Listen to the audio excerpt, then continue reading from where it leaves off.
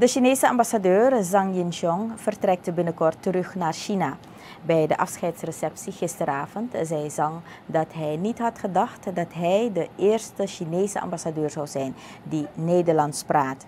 En daar ben ik zeer trots op, gaf de ambassadeur aan. Zhang heeft twee termijnen als ambassadeur gediend in Suriname. De ambassadeur zegt dat hij bijna alle straten van Paramaribo kent. I traveled to various cities from Albina to Nickerie, from Paramaribo to Pocopondo. Almost every street and corner of the capital has my footprint.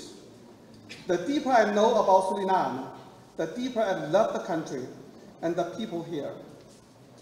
When I'm about to leave, my mind is full of uh, nostalgia to the beauty of Suriname, where I consider as my second hometown. And I feel very hard to put my feelings across with words. Please allow me to express my sincere gratitude to all the friends in different, different circles. A few days ago, His Excellency President Bouterse held a grand ceremony at the Presidential Palace, awarding me the grand ribbon in the Honorary Order of the Palm, and highly commended my work. De onderscheiding geeft aan hoe belangrijk het staatshoofd de relatie tussen Suriname en China vindt, zegt Zhang. Volgens Ildis Polak Bigli, van minister van Buitenlandse Zaken, is de relatie tussen de twee landen zich gaan verstevigen dankzij de inzet van de ambassadeur.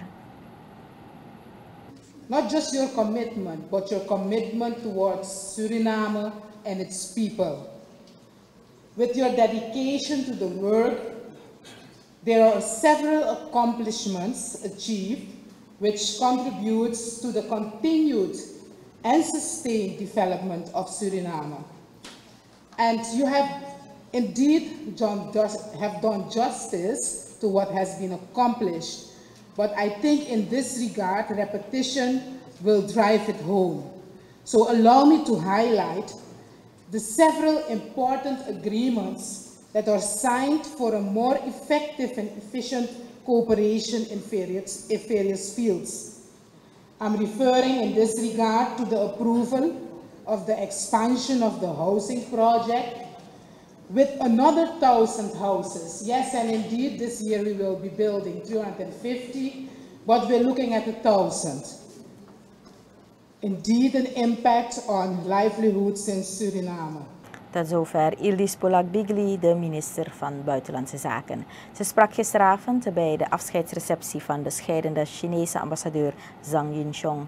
De receptie is gehouden in de zaal van de Chinese ambassade aan de Anton Drachtenweg.